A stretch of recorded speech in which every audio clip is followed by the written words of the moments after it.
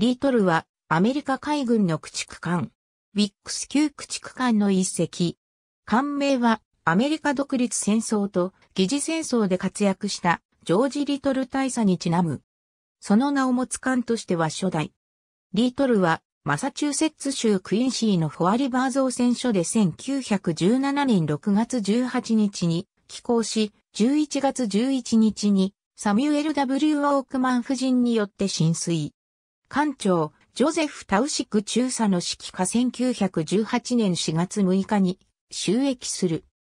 竣工後の1918年5月5日、リートルはノーフォークを出港して沿岸護衛部隊に合流し、12月26日までの間、フランスのブレストとの間を行き来する輸送船団の護衛に従事する。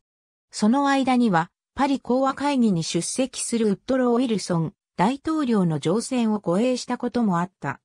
リートルは1919年1月18日にボストンに帰島し、カンドックでの整備後は大西洋艦隊駆逐艦隊に編入された。7月6日から8日にかけてはニューヨークで行われた大統領の行事の護衛につき、その後は戦術的な演習に参加する。11月17日にフィラデルフィアで第三駆逐隊に加わって1921年1月4日まで行動を共にし、以降もフィラデルフィアを拠点として大西洋沿岸部の紹介を1922年7月5日に退役するまで続けた。ファラガット級駆逐艦の竣工以降、アメリカ海軍は大量に保有していたウィックス級をはじめとする従来型の駆逐艦を順次除籍したり、他の艦種に移すなどの作業を行った。リートルは、ウィックス級の内高速輸送艦に改装される6隻のうちの1隻となり、終艇搭載用のスペースを確保するため従来の武装をすべて撤去し、また、全部主艦を撤去して日本煙突となって速力が低下した。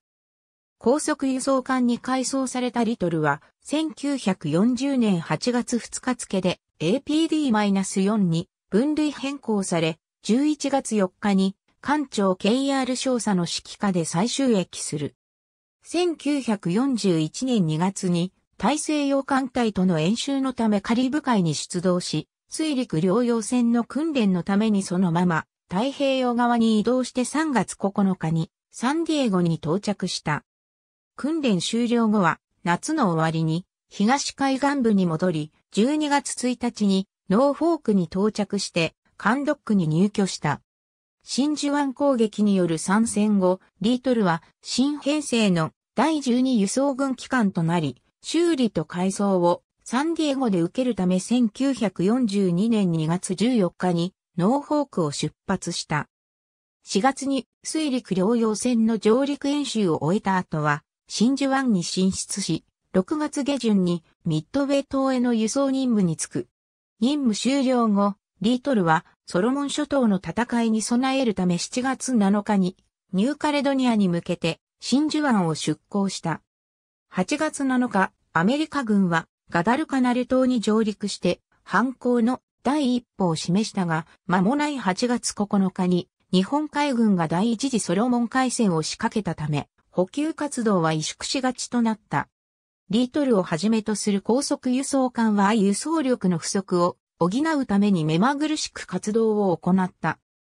8月29日、リートルは両艦、グレゴリー・コレホーン及び兵員輸送艦、ウィリアム・ワード・バローズと共にガダルカナル島沖に到着して揚陸作業を開始し、この様子を発見した在ガダルカナル島の日本軍部隊は日本海軍に通報し、第8艦隊は東京急行を行っていた駆逐艦に攻撃を指令したが、当の駆逐艦は目標を見過ごして戦闘は起こらなかった。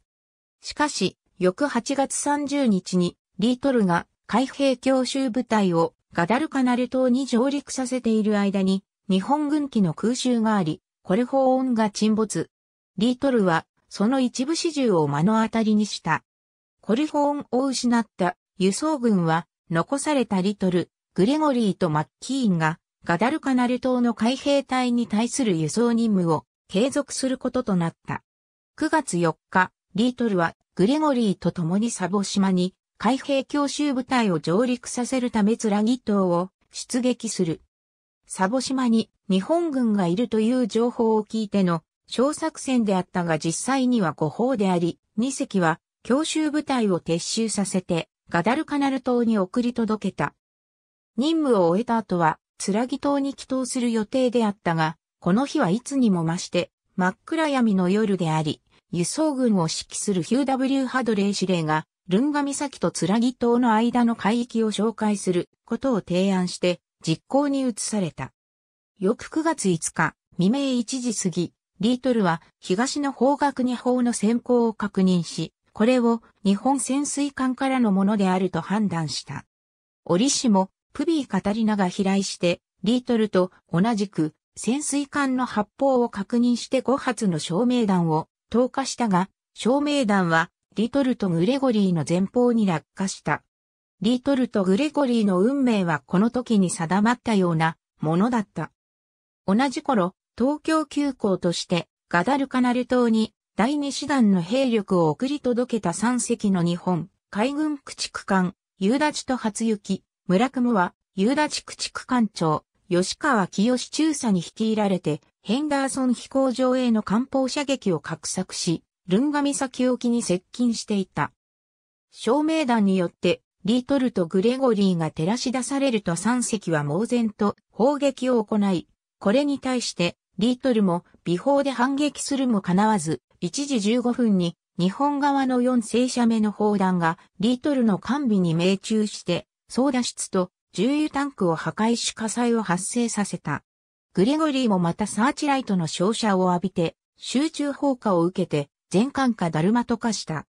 一方的な回戦の後、グレゴリーは1時40分頃に完備を下にして、沈んでいき、2時間遅れて、リートルもその後を追った。3隻の日本駆逐艦は海上に逃げた乗組員に対して射撃を行ったが、やがて高速で去っていった。太平洋艦隊司令長官チェスターニミッツ元帥は、後年、これら小さな兵力は圧倒的な敵に立ち向かって可能な限り戦いを行った。2隻はキャンペーンの遂行に不可欠な任務を遂行したとリトルとグレゴリーを称えた。リトルは第二次世界大戦の功績で2個の従軍聖賞を受賞した。ありがとうございます。